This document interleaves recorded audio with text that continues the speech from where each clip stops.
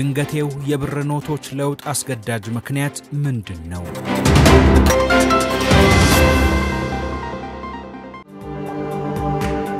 የሀገሪቱ የገቢ ግብር አሰባሰብ ተቋም ተደጋጋሚ የምሬት ትኩረት አስቀድሞ የሚመለከተው በሕገወጥ መንገድ በሀገር ቤትና ድንበር ተሻግሮ ከሀገር ውጭ የሚከማችን ገንዘብ ጉዳይ ነው። የገቢዎች ሚኒስቴር ይባስ ብሎ በአይኑ በኩል በሚያልፍ ሀብትና ንብረት አማካኝነት እንኳ የእጅ ጣትን በማይተካከሉ ጥቂት ወራት ብቻ ለዛውም በግለሰቦች ሕዝብን የማታለል ተግባር ተሰውሮብኛል ብሎ የሚያቀርበው የገቢ ግብር የታክስ መጠን ከ14 ቢሊዮን ብር እንደሚበልጥ በሚነገርባት ሀገር ምጣኔ ሀብታዊ መናጋቱ ከመባባሱ አስቀድሞ ፈጣን ምላሽ ሳይሰጥ መቆየቱ በራሱ ያጠያይቃል። ለሕገ ወጥነት ብርቱ ምላሽ መስጫ ነው ተብሎ በዘገየ መፍትሄም ቢሆን ጠቅላይ ሚኒስትሩ ያስተዋወቁት የብር ኖቶች ለውጥ እርምጃው መንገድ ተጠራርጎለት የመጣ መሆኑ ግልጽ ብሎ የታየው እዚህ ውሳኔ ላይ ከተደረሰ በኋላ ነው። በዚህ ውሳኔ ሳቢያ ከመደበኛው የባንክ ስርዓት ጋር ጥለኛ ሆነው ለቆዩት ሁሉ ለቀጣዮቹ ሁለትና ሶስት ወራት የመራወጫ መሆናቸው አይቀርም። እስከ ዛሬ ድረስ አገልግሎት ላይ ያለና ተከክሮ የቆየ የኢትዮጵያ አርማ ያረፈበት የገንዘብ ኖት ዝርዝር የአምስት ብር ኖት ሲቀር ሁሉም ዋጋ ቢስ ከመሆኑ በፊት ከተሸሸገበት በጥድፊያ መውጣት ግዴታው ሆኗል። በእንግሊዘኛው ልሳን out of the blue እንደሚሉት የዶክተር አብይ አህመድ አስተዳደር ድምፁን ሳያሰማ ገንዘብና ገንዘብ ነክ የሆኑ ዱብዳ ውሳኔዎችን ከዛሬ ጀምሮ እንዲህ ይሆናል በማለት በማስተዋወቅ ተጠምዷል። በግንቦት ወር የኢትዮጵያ ገንዘብ ጉዳዮች ቁንጮ ተጠሪው ተቋም የሚመሩት ብሔራዊ ባንክ ገዢው ዶክተር ይናገር ደሴ ከባንኮች የሚወጣን ጥሬ ገንዘብ የሚገድብ መመሪያን ባሳወቁበት ዕለት ከዛሬ ጀምሮ ለሕገ ወጥ የገንዘብ ዝውውርና ለግብር ስወራ መጣንለት ሲሉ ማመቻቻው እስከ ገንዘብ ኖቶች ለውጥ ግስጋሴን ያካተተ መሆኑ ተገልጦ አልታየም ነበር። ያለ ቅጥ የተበተነው ገንዘብ ከያለበት ተሰብስቦ ወደ ባንኮች ካዝና እንዲቀላቀልና ከባንኮች ወጪ የሚሆነው የገንዘብ መጠን ልጓም እንዲበጅለት ተተምኖ በወጣው መመሪያ መሰረት አንድ ግለሰብ በቀን ከ200 ሺህ ብር በላይ ማውጣት እንዳያስባት የተበየነበት ነው የሆነው። ኩባንያዎችም ቢሆኑ ገንዘብን በጥሬው ማውጣት ሲያሻቸው ቢበዛ በ300 ሺህ ብር ብቻ የተገደበ ዕለታዊ ተመንም ተይዞባቸው መመሪያው ይፋ ከሆነበት ቀን ጀምሮ ተግባራዊ ሲደረግ የቆየ ሆኗል።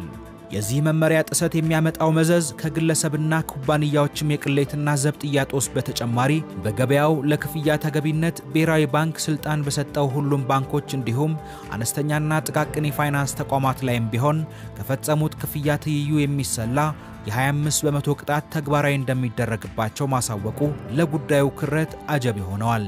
በግለሰቦች መኖሪያ ስለሚገኝ የገንዘብ መጠን ልኬትም ቢሆን ጣራው 1.5 ሚሊዮን ብር ብቻ እንደሆነ የሚያስረዳው መመሪያ ለአዲሱ የገንዘብ ኖቶች ለውጥ ሌላው መንገድ መጥረጊያ ነው። የጥሬ ገንዘብ ግብይትን የሙጥኝ ማለት ሀገራዊ አባዜ ትልቁ ዋጋው የ100 ብር ኖት ላይ ተንጠልጥሎ በነበረው የወረቀት ገንዘብ በኩል መገኛው ከየትም ይሆን ከየት በብር መጠን ብዛት የሚኖር የገንዘብ ክምችት ሕገወጥነት ከፍተኛ ምቾት የመጎናጸፍ ዕድል የሰጠው ሆኖ መቆየቱ አያጠያይቅም። መንግሥት ለውጥ አድርግ ያለው ሲል ያሳወቀው አራት የብር ኖቶች ወደ እርምጃው ያስገባው ገፊ ምክንያትም ከዚሁ ጋር ይያያዛል።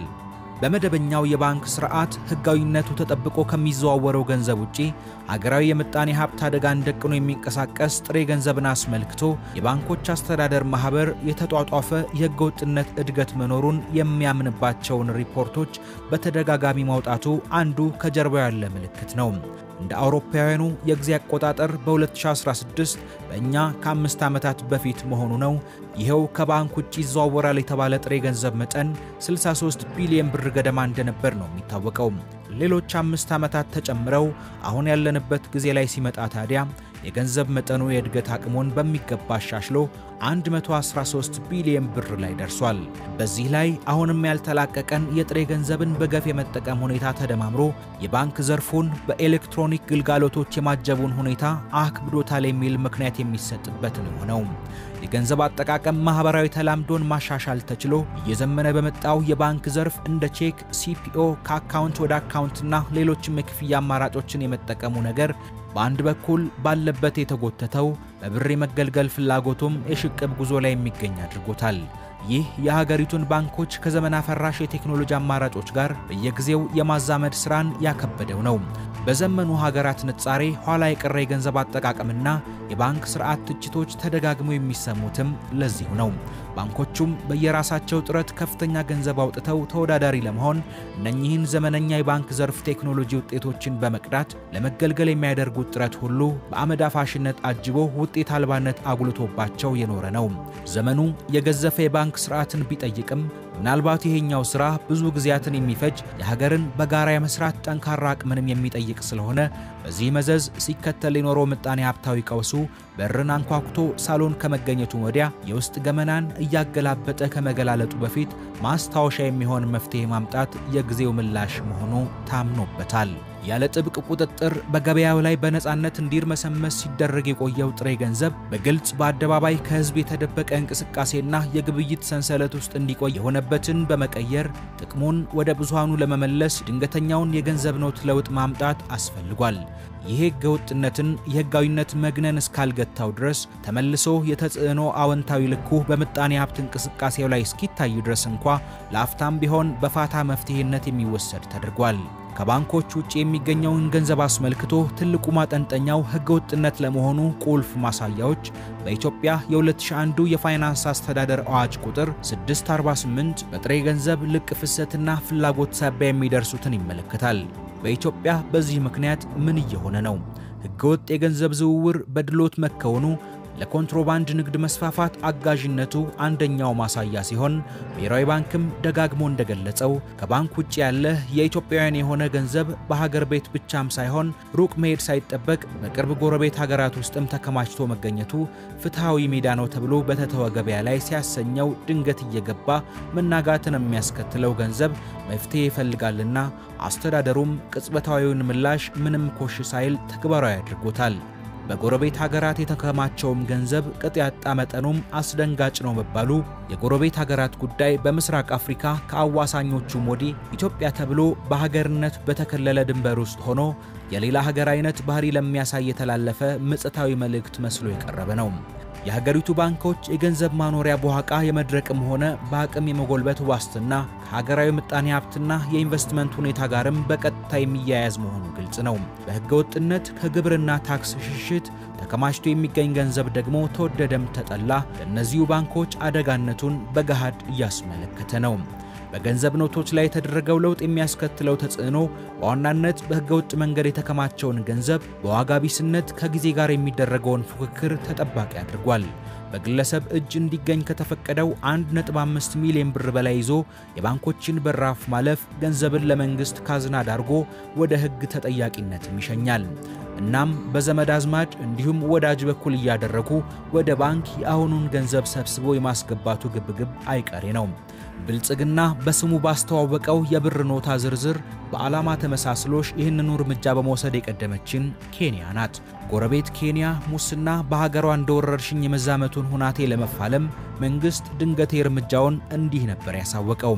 ያለፈው ዓመት ሐምሌ ወር ውሳኔው የ10 ዶላር ዋጋ ያለውን የ1000 ሽልንግ ኖቷን ዋጋ እንዳይሰጥ ማድረጓን የተመለከተ ነው የሆነው። ይህን የገንዘብ ኖት የመመለሻ ጊዜ ገደብ ባለማስቀመጧ ምክንያት በውጥኗ መሰረት ሙስናን በመፋለምም ይሁን በሕገወጥ የገንዘብ ዝውውር ላይ ከፈትኩት ባለችው ዘመቻ ምክንያት ስላስመዘገበችው ስኬት ይሄ ነው የሚል ምጣኔ ሀብታዊ ትንተናን መስጠት አስቸጋሪ ሆኗል። በተመሳሳይ እርምጃ የተዋወቅናት ህንድ በ2016 ህዳር ወር ላይ ጠቅላይ ሚኒስትሩ ናሬንድራ ሞዲ ያለቀጠሮ በብሔራዊ ቴሌቪዥን በኩል ብቅ አሉና የህንድ 1000ና 500 ሩፒ ኖቶች ከገበያው እንዲወገዱ ተወስኗል በማለት ዱብዳ የሆነውን መረጃ አደረሱ። የገንዘብ ደባቂና የታክስ አፋኝ ህገወጦች ላይ ድራማዊ ጥቃት እንዲሆን የተወሰደው እርምጃ እንደ ውሳኔው ዱብዳ የሆነባቸው በርካቶች የሸሸጉት ገንዘብ ርባና ቢስ መሆኑን ለማመን በመቸገር ሕይወታቸውን በገዛ እጃቸው ያጠፉበት ተደጋጋሚ የሞት ዜናዎች ለመደናገጥ ምክንያት የሆነበትን ትውስታ ይዟል። የናሬንድራ ሞዲ አስተዳደር ግን እንዳሰበው የተደበቀ ነው የተባለውን ገንዘብ ከገበያ ውጪ በማድረግ ዋጋ በማሳጣቱ ተሳክቶለታል ወይ ከተባለ የሀገሪቱ ባንኮች አገልግሎት እንዳይሰጡ ከተወሰነባቸው ኖቶች 99 በመቶውን መልሰው መረከባቸውን በማሳወቃቸው እርምጃውን በራሱ ዋጋ ቢስ እንደነበር ነው ያጋለጠው። የገንዘብ መሸሸጉም ቢሆን ህገወጥነት የተጠናወታቸው በሌሎቹ የገንዘብ ኖቶቹ በኩል አጠናክረው አስቀጥለውታል። በሀገር ቤት አዲሱን እርምጃ በሌሎች ሀገራት ከተሄደበት መስመር ወጣ እንዲል የሚያግዘው ምን ልዩነት ይዟል? አሁን ከ23 ዓመታት አስቀድሞ በኢትዮጵያና ኤርትራ ጦርነት ሰበብ ለውጥ ነካክቷቸው ሥራ ላይ ባሉት የብር ኖቶች የመቀየር ዕጣ ፈንታው የደረሳቸው ባለ 10፣ 50ና 100 ብር ኖቶችን ጨምሮ በአዲስ የተዋወቀው የ200 ብር ኖትንም ስለሚያካትት ለውጡ ስር ነቀል ሊባል የሚችል ነውና በሕገ ወጥነት ላይ የሚታይ ለውጥ እንደሚመጣ ተስፋ ተጥሎበታል።